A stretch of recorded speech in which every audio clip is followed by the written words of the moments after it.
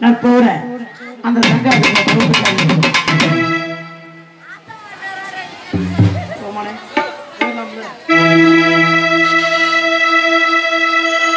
ஏன்?